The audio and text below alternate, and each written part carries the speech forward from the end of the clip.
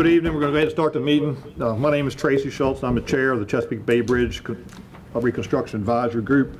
I'm opening the meeting of the advisory group and hereby call the meeting to order at 6:05 PM. We are holding this meeting in person at the MDTA Police Building at the Bay Bridge. I'd like to thank everybody for showing up in person like they could after all this COVID mess been going through, so I appreciate everybody that can make it tonight.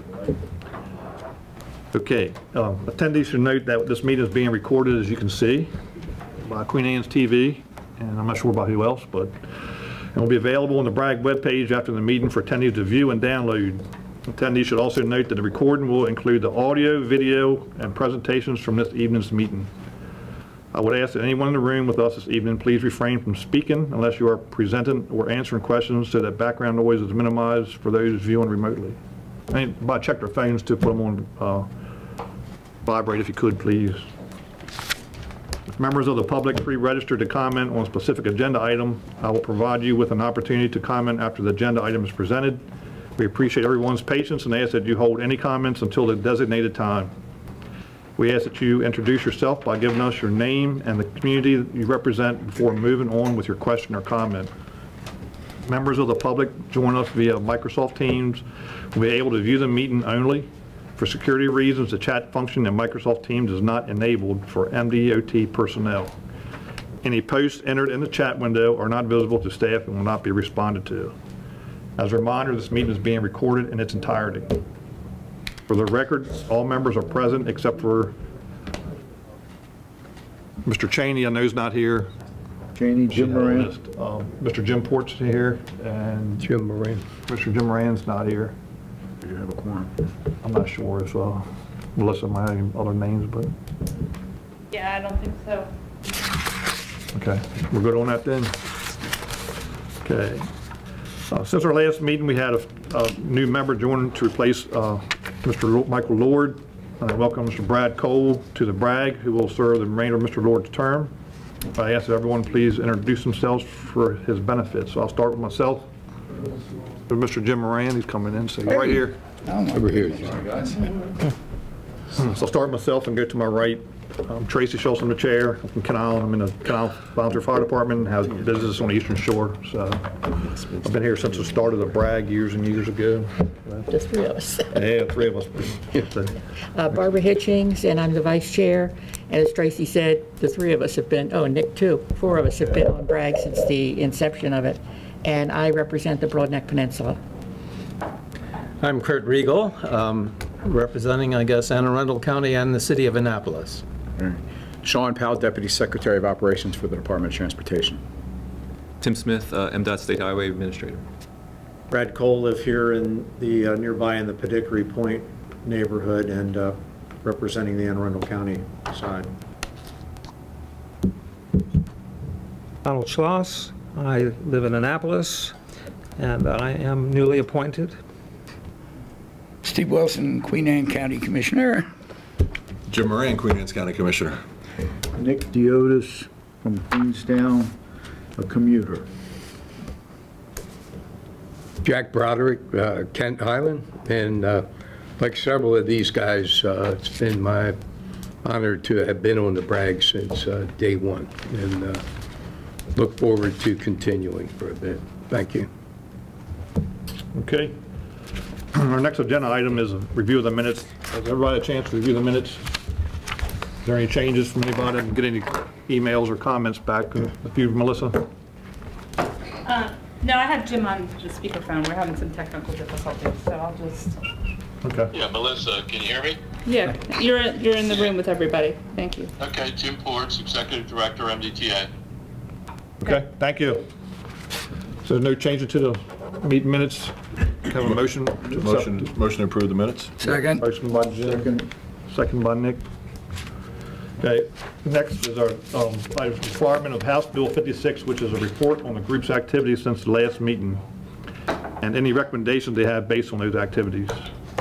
As for BRAG duties, they are to provide the MDTA with an independent citizen-informed perspective of the authority's operations at the Bay Bridge, assess potential concerns about activity at the Bay Bridge, educate the public about activity relating to the Bay Bridge, and work with the MDTA and provide pertinent input related to traffic and customer issues. Would any members like to share their individual educational activities, interactions with their communities since the last meeting? I'll start. One, um, I attended at uh, Canal Firehouse. Richard every year has a uh, renewal of the Route, Maryland Route 8, Route 18 plan, which is a plan for the Island area. If there is an incident that it happens on the Bay Bridge that'll affect traffic on the eastern shore, figuring over a long period of time. Um, So we had a meeting with that, and the plan was updated, and everything was good with that, so. Um, I have an email group, somewhere between 40 and 50 people.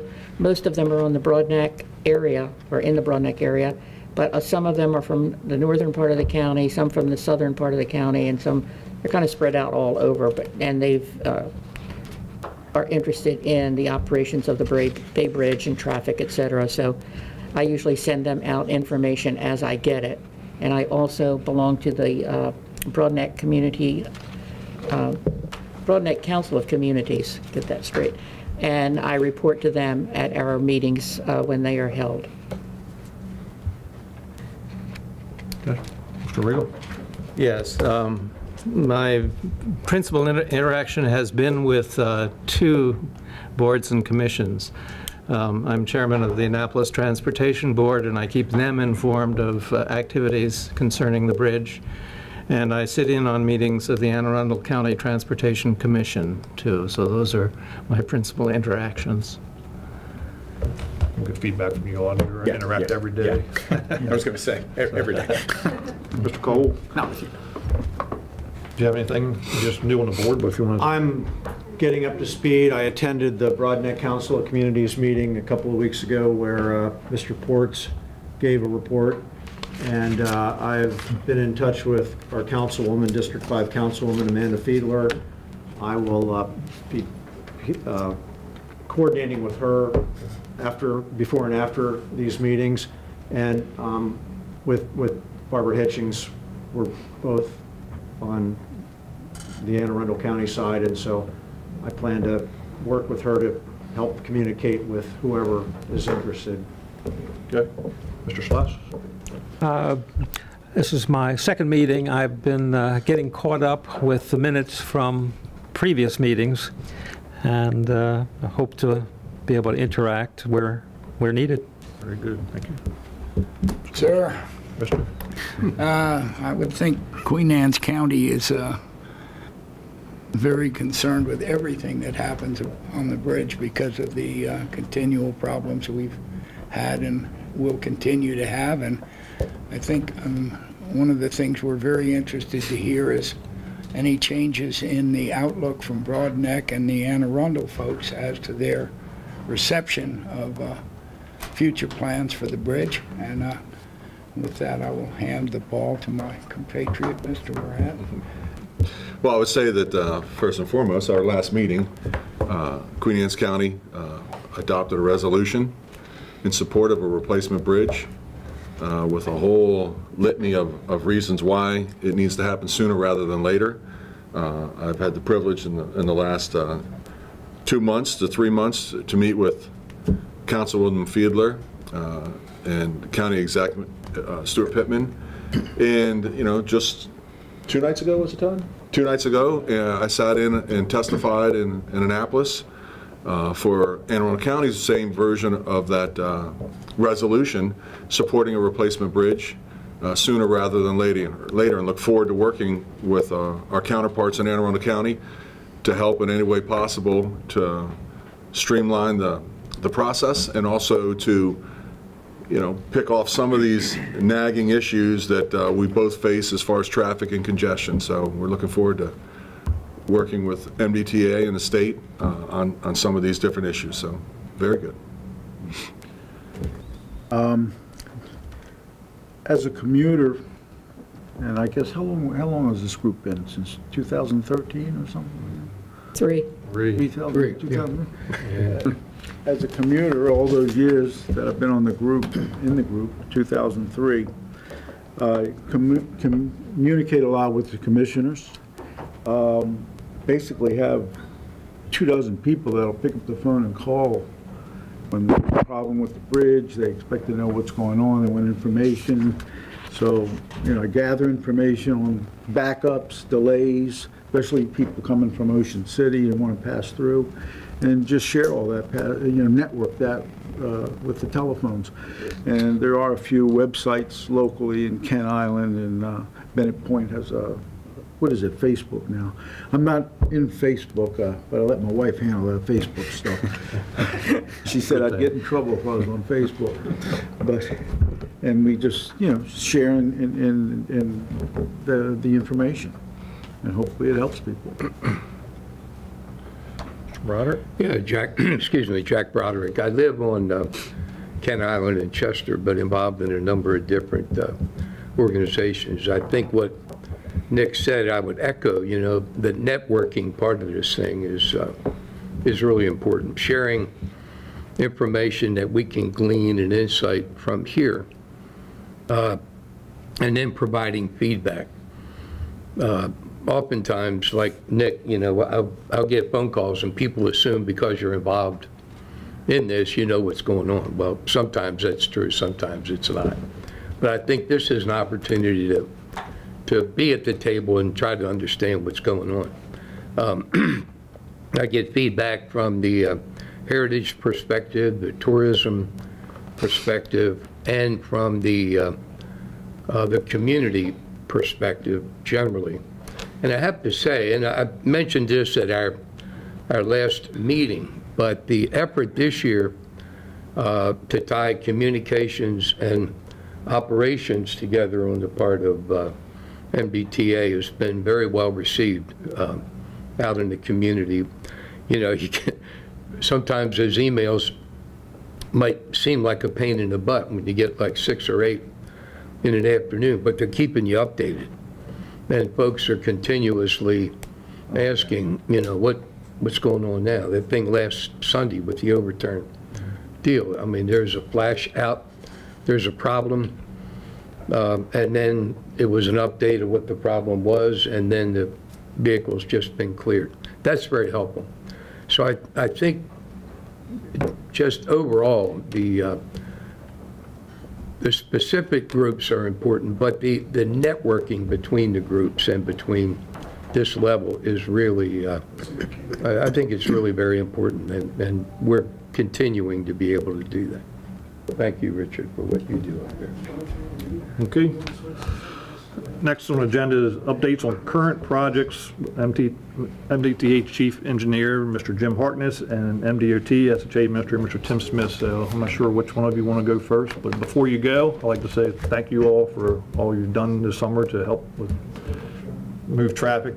Sometimes it seems worse, sometimes it seems better. On the Eastern Shore, I think Sundays have been better and stuff, but um, some days you can't stop people from driving and causing problems, And one of the things that we've done is, um, before they go, is, it- like our internal alert system from SHA and MDTA, is we start tracking it a little farther back so we can see, hey, you know, back in Easton, what's coming our way, or back from Salisbury to Easton. So it helps the, the chart teams prepare as they're coming forward. And we, we did a little trial over the last two or three weekends on that, and it seems like that's really working to, to prep, because we expected a very large volume coming through over the last couple of weekends. it seems like it's, whatever you're doing is working, so we appreciate everything you've done. Yeah, Tim's team at SHA had, had gone out and had a little above and beyond and created a few more areas that we can, uh, start tracking, so. Very good. So I'm not sure I'll let. Mr. Harkness go with the better haircut. Not by much. Go come up front, get Mr. Cheney's seat and have us, All right, I can do that. That'll make it easier. Thank you. like making it easy. All right. Thank you, Mr. Chair and board members. Uh, For the record, my name is Jim Harkness, Chief Engineer, um, MDTA, and uh, we'll just be going over uh, my report on the capital projects on the Bay Bridge. And so this list is, uh, I think, uh, mainly unchanged uh, since our last meeting, um, with only a couple of projects moving uh, maybe into construction. Um, But I'll review each of those projects with you now. So the first one, BB 2757, is the replacement of the 5 kV feeder on the eastbound span. Um, That project essentially is a, an electrical uh, project that will be uh, replacing, as I said, that 5 kV uh, feeder line. Um, That includes all the, the cable and uh, as well as uh, control equipment uh, associated with that and all the structural um, attachments that are necessary to, to run that cable along the bridge.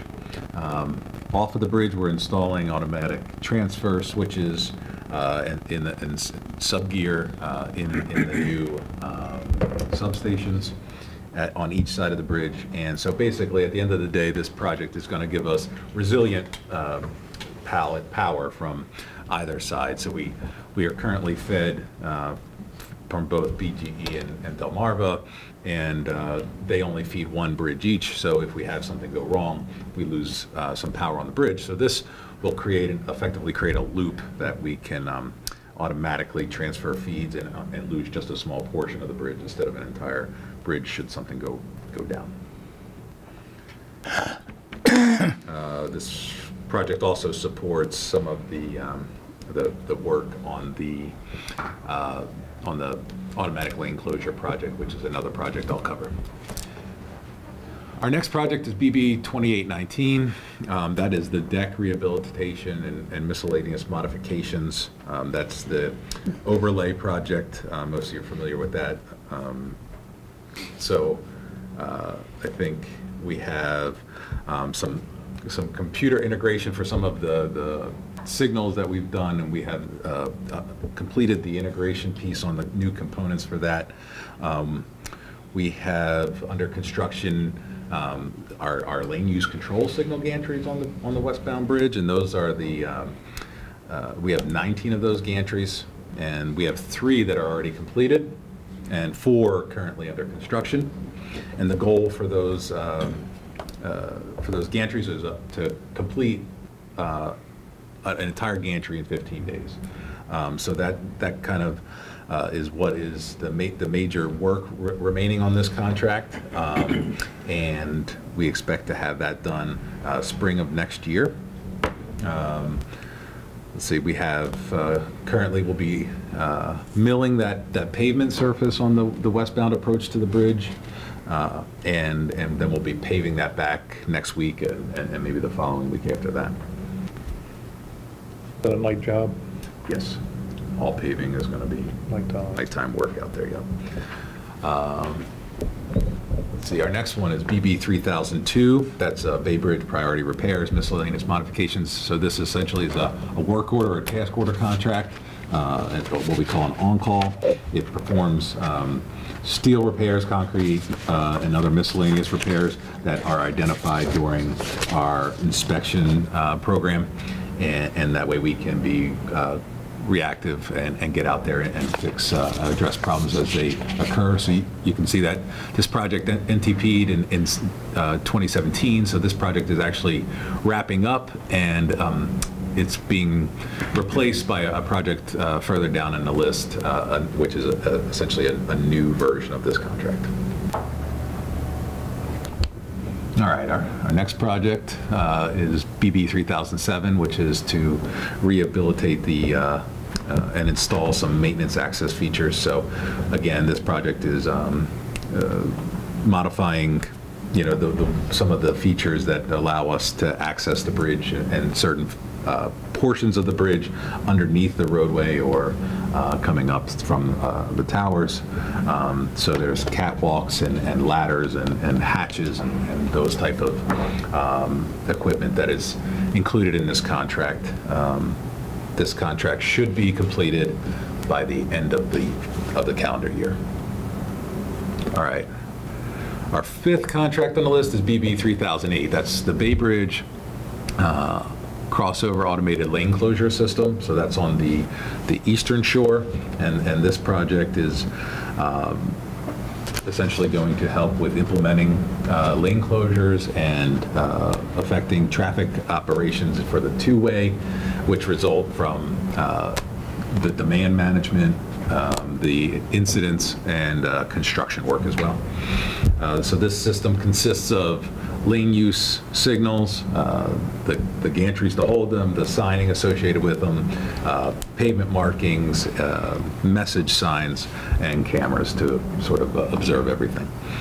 Um, Sort of some of the work that they've accomplished recently is they're starting to install some of the the motors that, that will move the, the, the gate swing arms back and forth. So they've completed um, the, all the all the foundations for those. Um, they've also got the uh, transformers, the electrical transformers installed for those.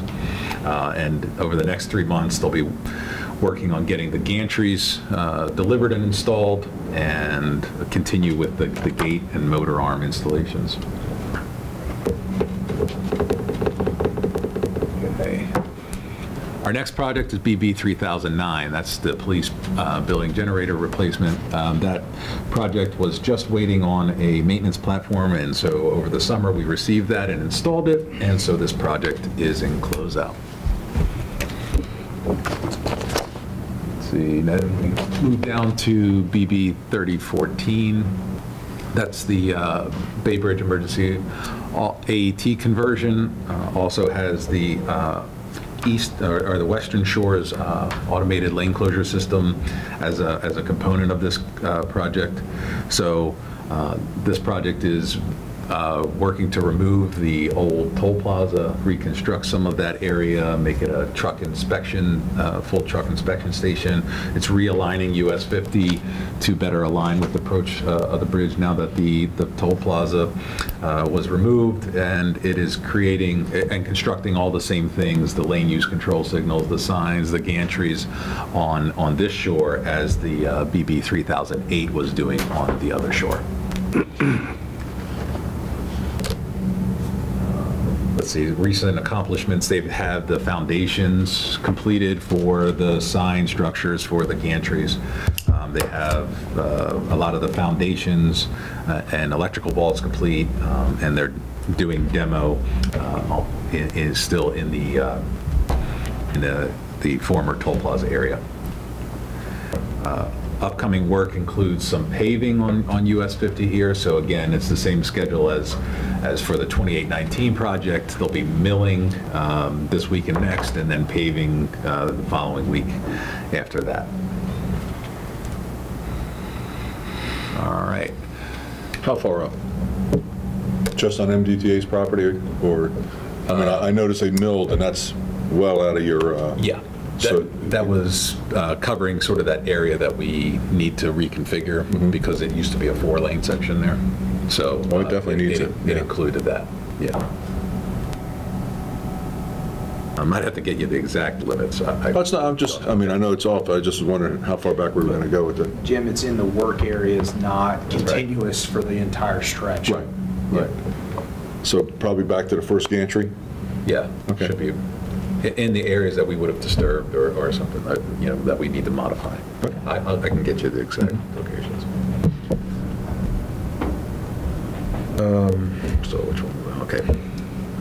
BB 3013, that was uh, the, the new on-call uh, contract that I previously mentioned. So that'll be doing the same sort of priority steel, concrete, and miscellaneous repairs that we uncovered during our inspections.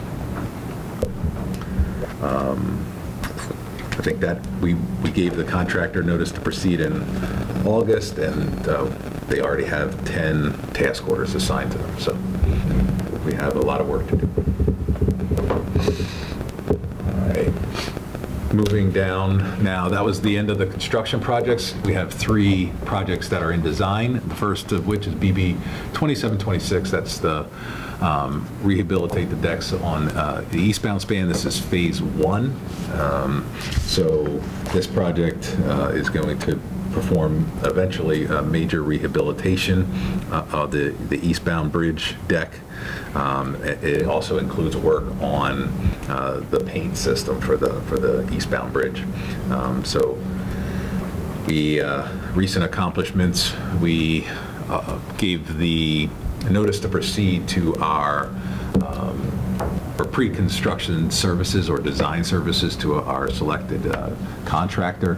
Um, So that happened in July. We are working now with that contractor um, to develop the design, and we're getting input and uh, soliciting feedback uh, on how best to go about this project. So uh, one of, you know, that we like to um, just continue to mention that you know, we are designing and planning uh, this project to minimize uh, the impacts for uh, residents and for motorists. Um, This project is going to be uh, mostly performed off-peak and by marine access, so they're going to be accessing the job from the water. Uh, It's, this is not like the 2819 westbound overlay with a a full, where there was a full-time lane closure in place. Uh, We're going to be utilizing precast deck panels to, to drop into place so that we can do work, uh, remove a panel in the beginning of the shift at night and, and put a new one back and, and be open to traffic in the morning. And if I could comment, that- that's the process that was used for the suspension span, That right, going westbound. span, what- Yep. Yeah. Through truss and and And through truss and suspension, and that worked, I have to say. So that was uh, two- around 2007 to maybe Yeah, a little, a little like later than that, I think, but, you know. A little later. Yeah, se- several of us went went up on top when that, that was happening. Coldest night of the year, you know. Of course. But it worked. That, that's, it sounds, uh, now you said. Yes. Oh, okay. Sorry, keep talking. All right, thanks, Julie. Um, Access from the water. That's right. Now, in the other one, the access right. was from the top You got on it. flatbed trucks. That's correct. So these things are going to be lifted up The Cranes, they'll have cranes Wow, on okay. barges in the, in the, They're not going to be on suspension, though. These are going to That's be... correct. You're So, right. all right, Because I know with the suspension, there was this critical balancing uh, problem. That's right. If you took too many panels off, the bridge would fall over. So, but with the... Yeah, this with the is, uh, Truss, it's different. these are called, this is, this section is called the deck truss panels. Okay. Um, So that is not, yeah, you're, it kind of is abuts to the suspension span, but it's not the suspension span. Good. You're looking for a few good men out there if you got some spare time. You know, if I retire, I'll find some spare Crane time. operators. What's your, just ballpark on what that project's going to cost? We are, I think we are over uh, 200 million. 200 million? Is that, is that part of the number you were using for maintenance moving forward on the next? The 3.25. That's correct. Clearly, When you look, so for the record, my name is Will Pines, I'm Chief Operating Officer from the Maryland Transportation Authority. Thank you for inviting me this evening. Um, Member Moran is referring to the 2015 Life Cycle Cost mm-hmm. Analysis Report noted that there is 3.25 billion with a B dollars in maintenance needed on the existing two bridges out to 2065. This project was one of the major rehabilitations that was identified as, as necessary to keep the bridges serviceable through that period. Thank you. Okay. All right, so let's see, that was 20, okay, so uh, moving down to our next uh, project is in Design BB 3004. That is to uh, construct a new project management office as well as a maintenance equipment storage building. Um, So this is obviously not on the bridge, but on the campus here.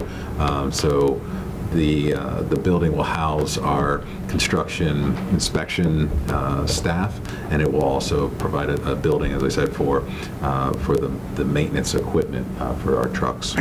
Um, We also have some paving and, and storm drain, as well as a new 10-inch water main that will go in. Um, It will uh, upgrade this building up to, to code for the, for fire pressure, as well as the new, new buildings. Uh, so- Excuse me, where will those buildings be placed? Because I know these won't be taken down until they're done. This building stays. This building stays. Oh, stays. this building stays? Okay. So it's actually at the end of the the road here. Bridge to the ferry terminal. Where the There's- ferry There's an terminal used to be? existing, um, The ferry terminal. Ferry terminal? yeah, to- so as as the Northrop, Gr- yeah, there's an old Northrop Grumman building there now. Um, And we'll tear down and demo that one and and put um, two buildings uh, right there.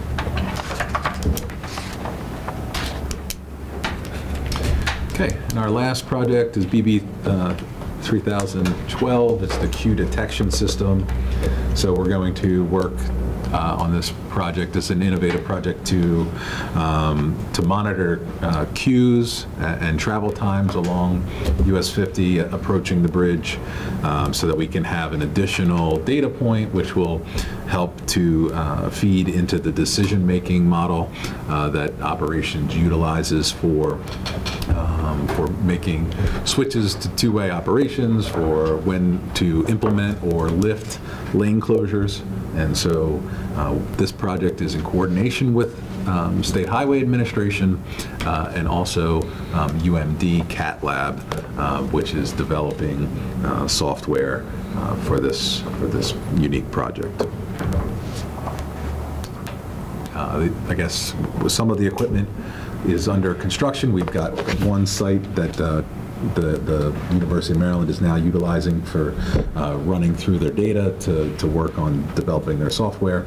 And so we expect that the system would be um, fully deployed by spring of 2023.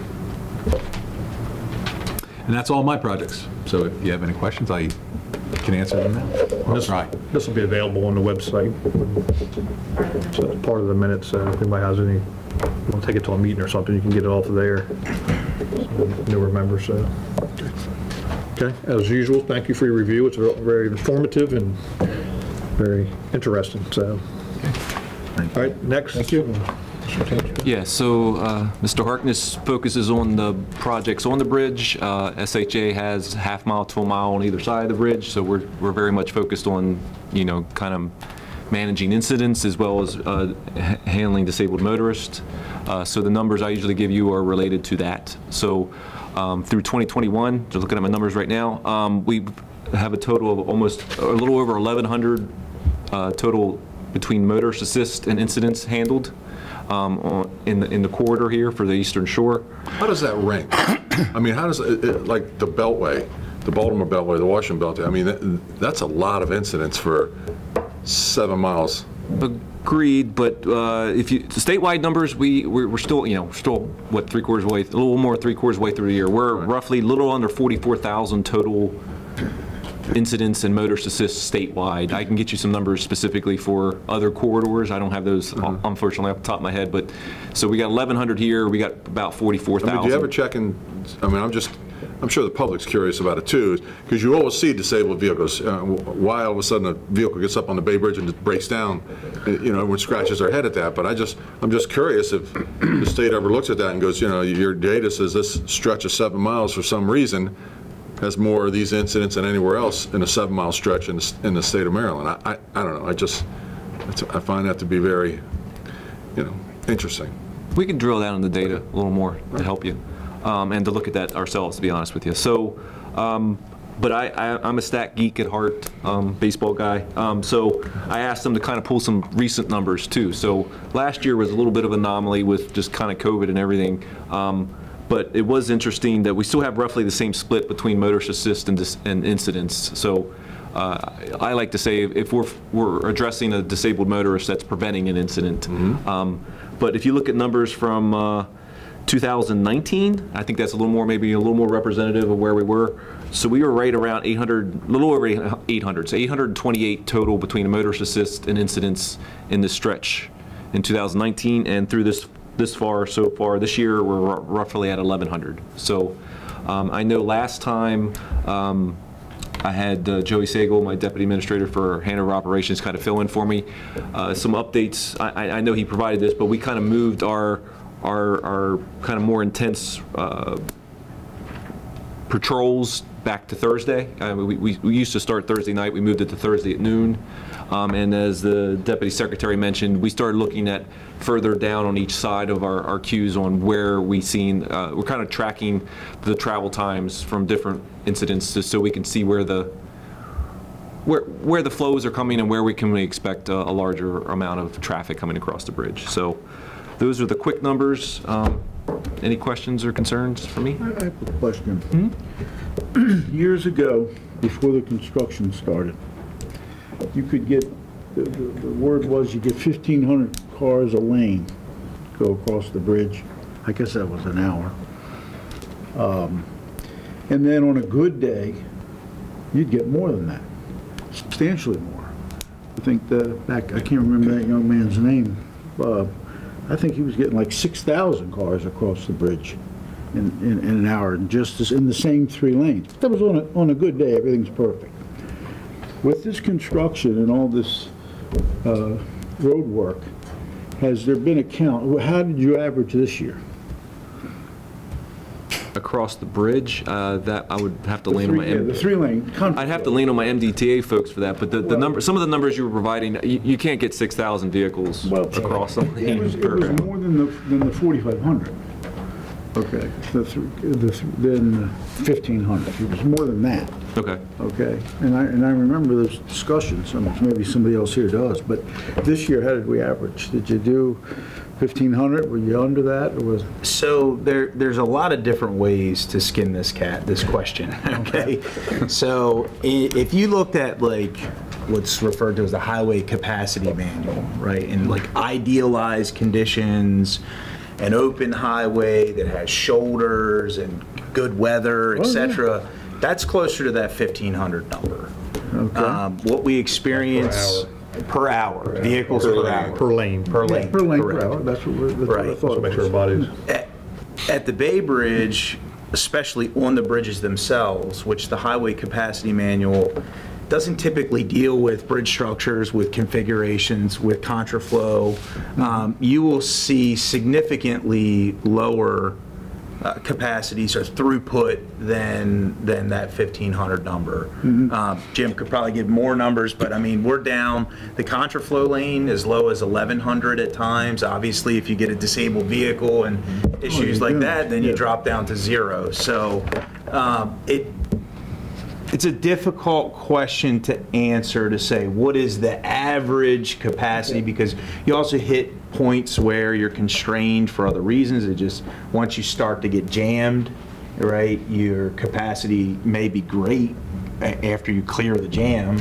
Um, but so where are you talking on the bridge as an example? So you, the, averaging that is difficult. The studies that we've published, the the NEPA Tier One has provided the assumptions for the lane capacities and the life cycle cost analysis that we historically did has published the numbers that were used for those studies. So that's what I would kind of recommend sticking with um, for, for numbers that you might want to report to the public is what we publish specific to a specific study. You know, and again, if, uh, if, if you have lane closures, bad weather, the contraflow lane, any sun glare, all the reasons that we talk about here at the bridge, they'll, they'll come down from that number.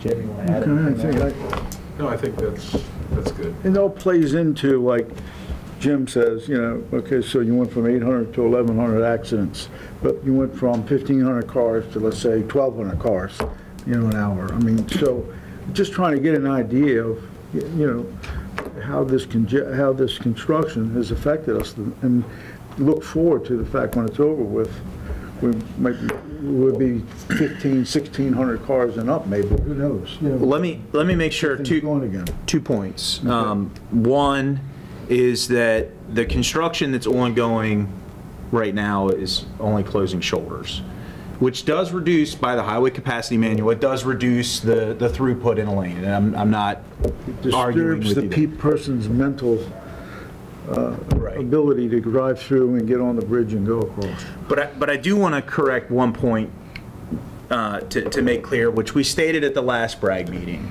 is that um, the idea that we're going to finish this construction and we're done, I, I just hope that I can. construct a new bridge. Well, you know, obviously, there's a lot of work to get through with the NEPA in order to advance that. But in terms of us, the MDTA, making sure that we make the appropriate investments to keep the bridge serviceable and open to the public, we have to do work on it. We cannot, uh, Jim showed you the list of projects that we have. I think it was a list of nine active construction projects, 12 total projects. That list is going to continue in perpetuity. I- We, I- we have a lot of work planned, so I, I, I sympathize with you. I moved over Eastern Shore, 93 maybe, and um, Now I only drive across it four days a week, but it used to be five and six days a week. And it's, there's never been not construction. Uh, There's always been something. If lightning strikes it, you fix that. I mean, you're always doing something, so. That's right. Yeah. Okay. Yeah. All right, so our next is unfinished business, and Mr. Will Pines is in the driver's seat, so you might as well keep on going. Sure. Um, I don't know if you want to wait a moment. Charles is, yeah. is coming up. So this is a, an item we had previously reported at at a, a BRAG meeting a couple of BRAGs ago. Um, The first three pages of the presentation are items that were closed out at the prior meeting, but just for the record, we've, we've, uh, you know, continuing to, to show them, and they'll, they'll be in the minutes um, for your record. I don't intend to go through every one of these items because we did report on them before, and from our perspective, they are complete. Not to say that they were completed to everyone's satisfaction, but they generally, uh, we've done what we can on them. So uh, the- just the first example was about providing the, the ferry study. Uh, We did provide a copy of that, but most of the information that was requested, we really do our best to post any information requested on our website so that we limit how many of these kinds of requests we have to repeat. So the ferry study's out there, the NEPA study, all of that is public record um, for, for your consumption. So I'm going to jump straight to the last slide, which is kind of the new community requests that um, we've been addressing recently. And uh, two items are a little older and dated, and hopefully we can kind of give you some updates on that. So the first item is uh, support the return of the Across the Bay 10K. Uh, That, we received a written request from the commissioners of Queen Anne's County and also the Anne Arundel County Executive. That event is currently planned for Halloween of this year. Do you have an update the amount of runners they have signed up so far? I heard attendance was down so far. Is that a Sunday? A Saturday? Sunday, Sunday, okay. Yes, sir. My name is Richard Harvey, uh, Maryland Transportation Authority, Bay Bridge. Um, And I'll, I'll be providing a, uh, a brief four or five minute overview of uh, the uh, Bay Bridge run. Okay. And After uh, Mr. Will Pines is complete. Is that? Very good.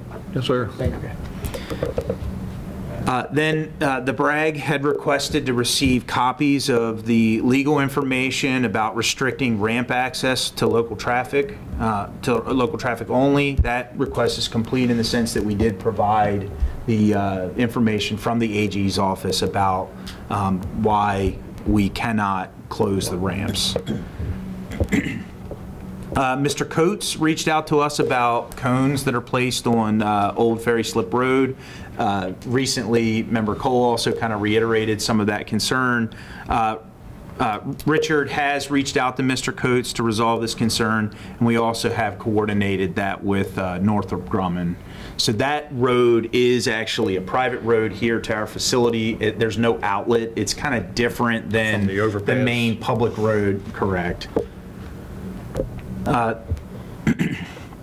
Next item uh, was a member request for the automated gates or the automated lane closure system graphic request.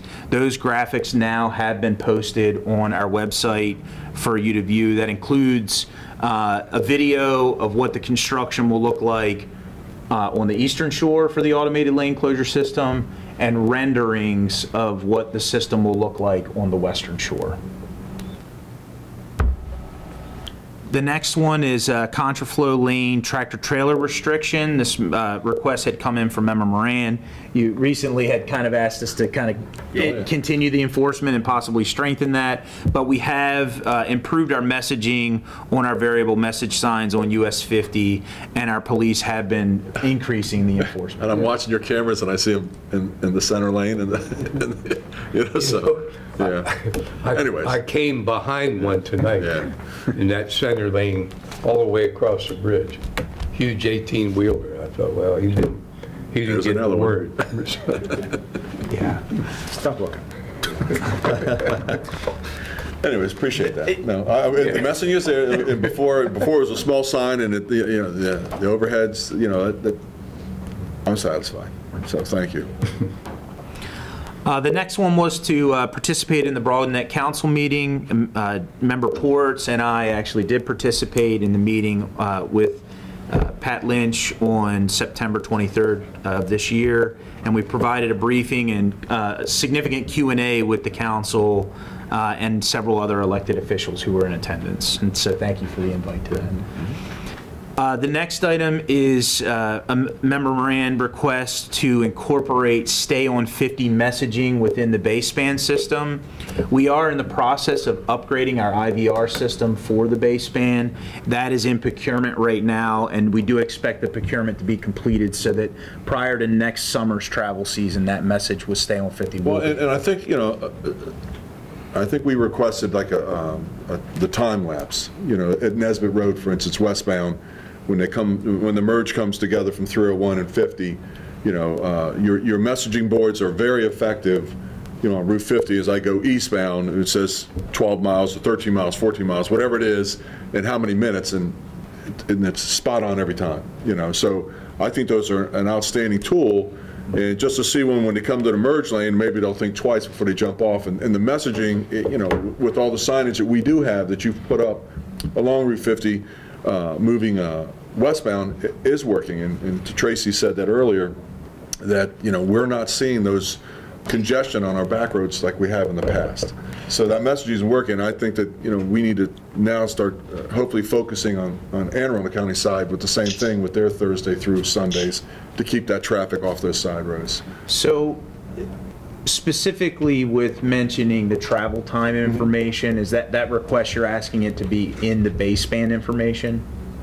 Well, it wouldn't hurt, but I, I mean, I'm talking about the visual boards when they, when they come around the, the bend there, they see it. You know, I know you have one further up, uh, uh, past Wye Mills, but, you know, when you add in 301 to it, and, you know, I don't know if that factors in or not, but it just, you know, that's that first, there's really only three or four exits that they can get off on that cause congestion. So if we plant one of those signs before that, and they go, look, it, it's, it's 10 miles and it's 20 minutes, I'll stay and do the 20 minutes. That's all, just, every little bit helps. So I think we did note the request to, um, to increase the number of PCMS signs that we have out. Right. We'll take a look at what locations might be able to improve that. Thank you. Related to, Jim's on the cell phone. I'm sorry, did Jim, Jim requested to say something? Yeah. Jim, do you have a comment? Yeah, yeah, uh, can you hear me okay? Uh Yes. Okay, great. So I want to go back to what uh, Jim Moran was saying about the uh, truckers and the, and the contraflow lane. So I did address that with our police officers. I think our police officers handed out, uh, quite frankly, a lot of a lot of tickets, and a lot of warnings. But let me, but I do need to set some expectations, Jim. Um, let me ask you a question.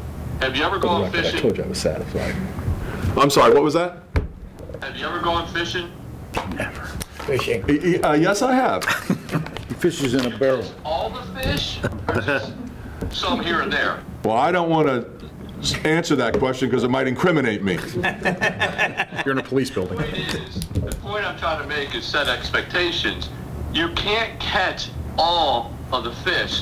That's an unreasonable expectation for our police.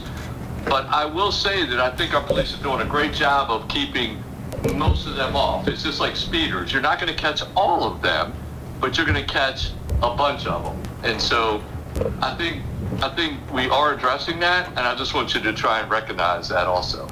Mr. Ports, Mr. Moran said he was satisfied five minutes ago. You're off the hook. oh, off the hook. That's a good fishing one. Another lost fish. Yeah, The one that got away. Well, Just to be clear on the, the BAYSPAN updates, we do not provide the travel time information because we have, MDTA and MDOT SHA, we have an agreement that their CHART system, they provide travel times, we provide distances.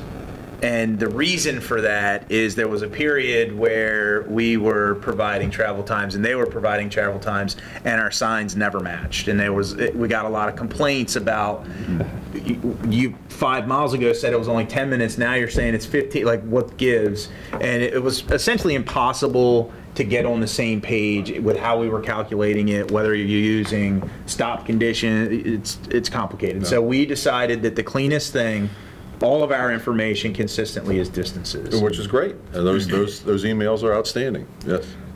Speaking of signs, Jim, I think at the last meeting, which was on the computer, we, we talked about putting signs up for commercial vehicles to stay to the right lane, because some of them are hitting contraflow and, did, did, you- how far did y'all want to go to enforce that? Are you going to keep them out of the, um, so the, the, the two-lane eastbound bridge, or lanes four and five, do you keep them out of both of those lanes, or you just, I mean, just want them in five, or if The they're signs say four- are Four and trucks five, to you're the- okay? Trucks stay to the right lane And they only. put, they put some electronic signs, because I- I, s- I noticed that, and um, they just say, you know, stay to the right lane.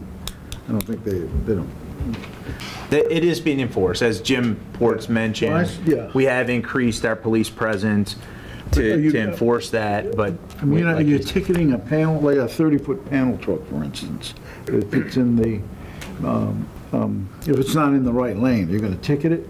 Candidly, I'm not sure Yeah. which vehicles. I know you ticket, you ticket a tractor trailer, because that's, that's an issue. I mean, there's definitely, especially on contraflow. I think it says commercial vehicles. Restriction. Yeah, that's what it five- says, commercial. Over five ton. Is that what it is? It sends out a trucks Okay. registered, correct? Okay, okay. Okay. Okay, so the next item uh, was a member brought a request to have a federal highway expert represent the group on federal involvement in a uh, US 50 corridor analysis. Um, We, we talked about it before that, you know, Federal Highways looking at the NEPA study, which is a full corridor review uh, for the new bridge. It does include the no-build alternatives, so they're reviewing kind of the analysis for the existing conditions. Uh, But we haven't really fully advanced this, possibly not fully capturing what the, what the goal is by having a federal expert here. But I don't know, Tim, if um, SHA, you know, we don't receive federal money for any of the existing bridge management, so we're not exactly sure how this would, would help. Um, Yeah, I so- think one of the things we had in mind in that discussion was that the, the issue really is the side roads. And, you know, the, the local counties and the neighborhoods are dealing with the side roads. And our thought was that if not only the state level, but the federal level were involved in trying to problem solve in dealing with the service roads or the side Route Route 18 on the uh, eastern shore side, that there could be some value there. That was really how that, how that discussion came up. So I think there's opportunities there. I, I, on the Queen Anne Sound County side, those are federally eligible roadways. On the Anne Arundel County side, some of the side roads are currently not. They're state-only um, roadways, but we're currently pursuing opportunities, giving uh, the whole corridor and impacts on heavy congestion days, trying to make them federally eligible, which gives us opportunities to, to, to leverage federal dollars to make different types of improvements. But I know I got to balance that both with the Queen Anne's and as well as the Anne Arundel County side as we move forward. I know um, Kent Island has their, their transportation plan looking at pedestrian and, and bicycle improvements. We, we would probably need to prop up something very similar on the Anne Arundel County side, especially for Skidmore and, um, um, and College Avenue. If that makes sense. You're looking at me puzzled. I'm thinking that doesn't make sense. Yeah, it, it does, I guess, you know, like Jim Moran said, you know, every little bit helps. And, you know, if there's some solution that they might be able to bring to the table, they may, be you know, to have them be part of the problem-solving process seemed to make sense, that part seems to make sense. Agreed. Kind of an ongoing issue, I Okay. guess, you know. But thanks for Yeah, and- keeping it. Yeah, we definitely are working with our Yeah. federal partners and particularly on the NEPA study, which again is a corridor analysis. Yeah. So it, I, I, I think it's safe to say there is federal involvement in, Mm-hmm. in what we're doing, uh, but to what degree, where, where the line stops, I, I don't, it. not sure Okay. what, what, how much involvement you were looking for. ongoing problem solving, I guess, is- is the issue. Okay, the next item was uh, something Senator Riley had requested about restricting large commercial trucks from using St. Margaret's Road as well as the north and south service roads except for local delivery. Um, Again, this kind of falls into the similar bucket of challenges that we've had with legal restrictions to, to the local roads. Um, So that is, to the best of my knowledge, still being evaluated. And of course, um, restricting trucks in general can be a challenge with, uh, with the trucking industry. So I don't know if you have anything further, Tim, on this item. Was it focused just on St. Margaret's or all, all roadways, I guess? is the Says St. Margaret's Road. St. Margaret's and then the north and south service road. Okay. So with that, uh, we, we at least did some analysis on that. The- Right now, we have roughly 4,500 vehicles using that roadway um, per day. And based on the truck counts we have, it's between 125 and 150 vehicle, or truck, trucks on that location each day. Based on what was kind of framed in terms of the, what we could potentially restrict is, would only be 54 trucks. And then the challenge we have, and and Will kind of mentioned, well, just from a legal standpoint, is, uh, you know, you have a side farm there that has a lot of vehicles going in and out of it that meet that criteria. So uh, when you boil it down, we might have 10 trucks a day that might not be doing something purposely on that roadway, and it might be cutting through. So then it becomes a law enforcement issue. So we, we partnered with Anne Arundel County to look at that oppor- opportunity. Uh, It it boils down to, you know, we'll move forward with what the, the the BRAG Group would like to move forward with, but there, I guess the concern is, is the juice worth the squeeze there, trying to look at 10 trucks on St. Margaret's Road that might be just passing through and not having actual commercial business, either at the sod farm or deliveries throughout that corridor, so. I would, my observation and experience is that rarely ever see large trucks on East College Parkway, almost never. When the backups occur, it's passenger cars. Uh, The only, only big vehicles on East College Parkway typically are, and, and it- they can barely fit. The road is, is with the, with the guardrails up against the road, the road width. I I see school buses in the morning that are two or three feet over the yellow line because it's so narrow. So perhaps that's why the trucks don't use it. But anyway, the point being, that's not the problem for East College Parkway. And I think similar with Whitehall and Skidmore, every now and then you'll see a truck coming up around the ramp. But anyway, that's my observation. Good. So the, it sounds like for this specific request, the BRAG is generally satisfied that we can close this out based on the, the metrics and information provided. Are good? Yep. Yeah, absolutely. Okay, and then the, uh, the last item here, stay on 50 signage on Route 50, um, Delegate Bagnall had requested this, and MDTA and MDOT SHA are uh, currently considering some signing concepts to, to look at opportunities to improve that stay on 50 signing. It, you know, we understand there's the request to have local only signing, but again, we've talked about the legal issues with that. So the stay on 50 signing, like what we have on the Eastern Shore, is not problematic. It's just um, having the funds programmed and getting the signing contracts and the design and, and targeting the right locations to have this. You could put, maybe, I think about it, I don't know if it's working or not, but if you could put a sign up that says, it had digital readouts on it, ETA to Bay Bridge. A lot of people probably know what ETA means, but ETA to Bay Bridge by Route 18, Main Street, 50 minutes, by staying on US 50, 20 minutes. You know what I mean? And the same way coming this way.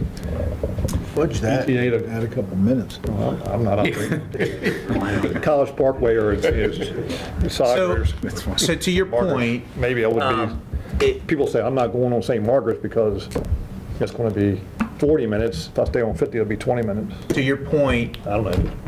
So, that it, that is implying that staying on 50 is typically actually faster than taking the side roads. Uh, This summer, we did some actual analysis of that to, with the goal of being able to challenge some of the apps and to try to be able to go to them with data and say, the community routinely tells us that you're wrong, and because you're wrong, we want you to work with us, or we're going to let everybody know how wrong you are. Fortunately, that's not what we found. We found that the apps are actually really accurate and tend to be right. Um, So if we were to put signing that would post travel times, it would probably convey a message that you wouldn't want. Put mileage on it because Main Street's longer than 50. Just five years on d- Yeah, from a distance perspective, but yeah, that's, I mean, that's true. We could look at that. We could- Something catch our eyes, we see a bigger number, it's like, oh, I'm staying away from the bigger number, I'm going to the lower number. Yeah. Okay, next item. It's really, it's a really big number. Well, that was all that I have uh, on the, the, you know, closeout of community requests. Are there any questions on any of the items? Not, I think I'll turn it over to Richard to give the Take for the run and run up the. I do have one question before this part of the whole business closes up, and this is going to be an odd one because I don't want the answer now. I'd like to have it at the next meeting. And I throw this at our uh, House statistician here, Mr. Smith. Okay. uh, That it's been, you can understand the correlation in between the growth of the economy and the shrinkage of the economy and traffic. And when you're as close to capacity running this facility as we are, fairly moderate changes in traffic can throw traffic jams in place or not. So that anticipating what's coming up is, is a fairly interesting calculation to make. And uh, one of the things that interests me is we know that the, the traffic goes up and down with the economy, but also fuel prices may be fairly involved in it. And if you go back to the 70s when we had that huge fuel pop, it would be interesting to take a look at the numbers and see how that affected your traffic because right now in the last year, you've had crude oil move from 40 bucks a barrel up to 78 bucks today. That's going to be flowing through pretty quickly. And uh, I, I'm be interested in any thoughts you had on what effect that might or might not have, just not for now, but sometime. So just so I capture it correctly, you're, you're interested in what the fuel costs impact our traffic, traffic volumes? Absolutely. Okay. Because I think you get, you get crossover points, like $3 to 340 doesn't do much, but 450 and 5 bucks, all of a sudden you'll see a pretty quick break in traffic growth. So, There's a whole lot of. and that's going to give you quite a read during the winter of the next summer. So, There's a whole lot of new, uh, I think, issues coming up with gas prices going up, probably in the government switching everybody to electric vehicles. Yeah, with that means. So when you have a backup at the bridge that lasts for, how long does it take to get from DC to the Bay Bridge? Two hours sometimes. How long does a charge an electric vehicle last? Where is it going to die at? Is it going to die before the bridge, on the shoulder, on the bridge?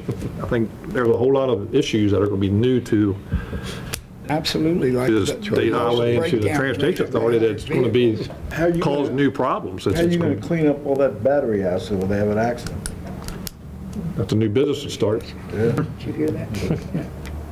But it's going to be, I think it's going to be a whole new set of uh, parameters that are going to affect traffic in general over the years. I mean, you sit here and have snow on the bridge or anywhere, just say you had a blizzard somewhere and it's shut down the highway and you have people sitting in electric cars, what's going to happen? Yeah, well, anywhere, not just here, but any place where the traffic is congested. It could be up and down the Jersey Turnpike, wherever you Right, happen to be, down in Beltway. Richmond with the 95, or all that stuff going on down there, so. So that's going to be, that's going to be a whole new set of problems going to be coming to areas that are congested like this. And, uh, I mean, people are going to be sitting in their cars in the summer, sitting in traffic, want their air conditioner on, the battery only lasts so long. You and I have had this conversation. I think I said the first electric car was invented in 1811 or something like that, and it hasn't caught on yet for some reason, so it'll be interesting to see where It's it not what's goes. catching on, it's what's being forced on. Yeah, That's the problem.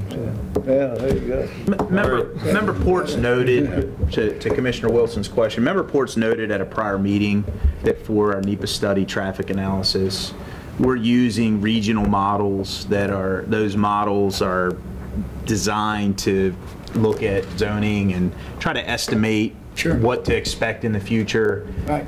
I- I'd like to think that they're subject matter experts when they develop these models uh, and and contemplate the types of things that that you're you're raising here. But the simple answer from our perspective is every traffic analysis that we do is showing that the traffic's going to get worse. Oh, not the- that, that's the that's not a simple- question. I'm interested, you know, when you hit the 2007 through 9, you probably lost how much of your traffic? 20%, 15? Bay Bridge traffic between 2007 and 2009, what was the drop in? With fuel, when, with fuel? Oh, yeah, just the gross number of vehicles across the bridge and that from the peak to the valley, because that was a, that was a recession era. yeah, no, it affected your, your traffic by, you know, 10 or 20 percent. Jim's trying to jump in here. Yeah, I just I just want to back back Will up for a second. Um, you know, when you talk about these traffic models, I mean, you you have first of all you have one of the best traffic engineers in the state, probably one of the best in the country with with Jim here. But but two, and I mentioned this the other night at Broadneck. I have a study dating back to 2006.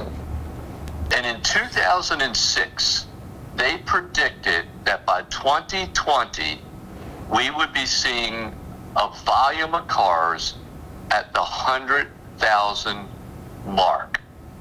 And that is exactly where we are right now.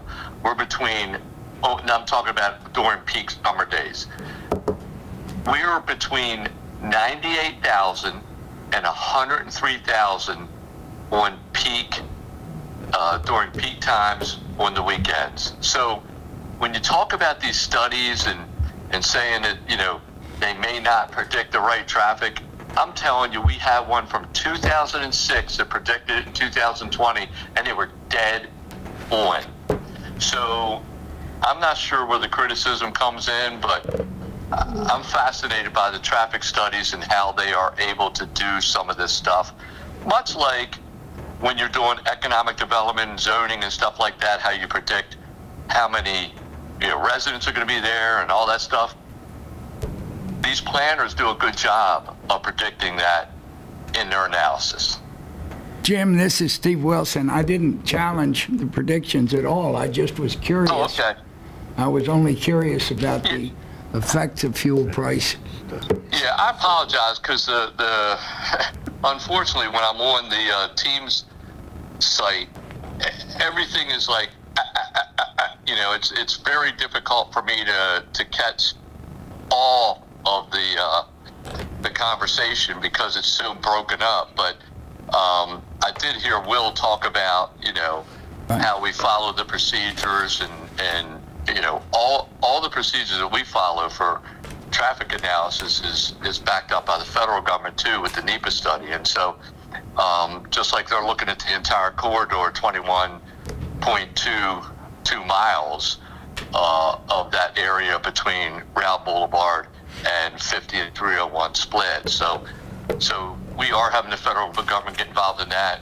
We are looking at the traffic analysis, and so yeah, I apologize, Steve, if I if I'm not no. hearing quite everything, but I just wanted to back Will up because uh, you know he does such a great job. No, I'm, I'm sorry you missed me because I was nothing but complimentary. All right, we'll go on to, Richard, get on with the, about the update on the Bay Run. Yeah, thank you, Mr. Chair. Uh, Members, uh, again, for the record, my name is Richard Jaramillo, Maryland Transportation Authority Bay Bridge Administrator. Just want to give you a uh, four or five minute overview of the uh, upcoming uh, Bay Bridge Run for 2021. Um, And the Bay Bridge Run is back with a new event organizer, uh, and uh, it's a relaunch of basically the Across the Bay 10K, uh, which took place from 2014 to 2018. Um, And um, the uh, previous uh, owner, Ironman, has decided uh, di- to discontinue in early 2021. So we have a new event organizer who is, uh, it's Corrigan Sports. Um, The uh, the owner is uh, Lee Corrigan. He's he's a local from Elkridge, Maryland. Um, And so Um, We've been working with them, been, it's been a real pleasure working with uh, Lee and and his folks. It's it's been wonderful. The, um, as, um, as Will mentioned, uh, the date of the event is October 31st, uh, yes, Halloween, and uh, the race will begin around 6:45 a.m. uh, with the bridge reopening by 2 p.m. The uh, start location is on the Northrop Grumman uh, facility here on the western shore. And the finish location will be at the Chesapeake Business Park, which is on Queen Anne's County side, on the eastern shore. This event is weather dependent, and there is no rain date. Um, So it happens or it doesn't. Um, And um, there are two MOU agreements for it. Uh, One is with Corrigan Sports and Queen Anne's County. Uh, The other is uh, between uh, MDTA and Corrigan Sports. Um, The, just a brief overview, because I know a few folks aren't familiar with the actual event. So um, again, weather permitting, the participants will start on the western shore here in the Anne Arundel County side uh, from Northrop Grumman, run west on Old Ferry Slip Road onto US 50, and then across the uh, two-lane eastbound bridge. Uh, They'll cross a footbridge just after they get off the eastbound bridge uh, onto Pier 1 Road towards uh, Hemingway's Restaurant. They'll turn left and run northbound on, um, on the shoulder on Route 8, south, and then left onto Skipjack Parkway to the finish line. Uh, And so uh, that's essentially the course. The number of participants as of today around noon uh, were 9,724 registered. Um, In speaking with uh, Corrigan Sports, they're anticipating somewhere around maybe getting 11, 11.5 uh, come race day. Just as a point of reference, our last event was, was held in 2018. The final total was 14,773. So it's, it's, uh, it's down, but all the events, I think nationwide, have been uh, due to COVID and mer- various other reasons. Um, Again, based on the number of participants this year, uh, the runners will be sent in waves beginning at 6:45 uh, for the special needs participants. The next wave will begin at 7 a.m. and continue every 15 minutes uh, intervals uh, till approximately 8:30 or 9. Again, a lot of that's dependent upon the number of participants that we have uh, come race day.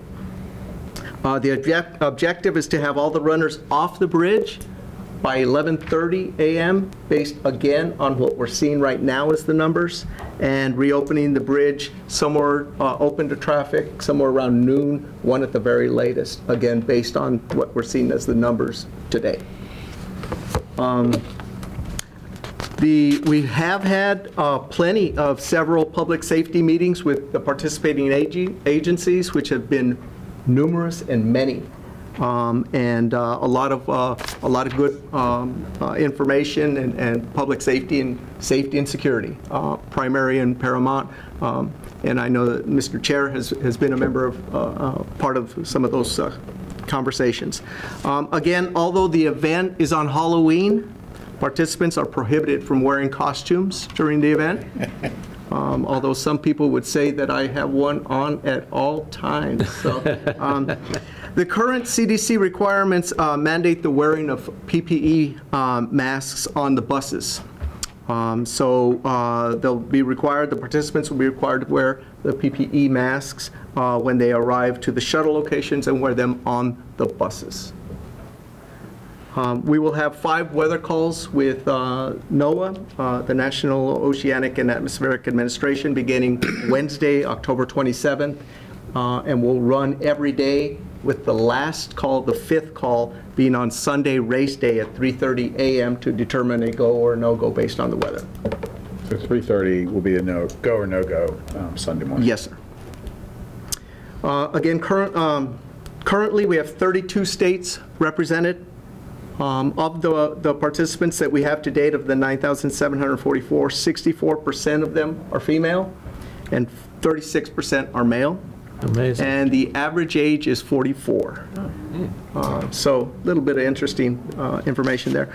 Um, a little um, note here, motorists using the Bay Bridge on October 31st will experience significant delays throughout the day. Uh, To avoid delays, we are asking motorists to, and are urged to travel before 6 a.m. and after 6 p.m. And the MDTA uh, always thanks its customers for their patience and reminds them to stay alert so no one gets hurt. And that's about all I have, Mr. Chair. I have a question. Uh, Yes. What has past experience been on the revenue impact of this event? Does it have any impact on the revenue, the daily revenue? Uh, Revenue to... Bridge tolls. To the bridge tolls?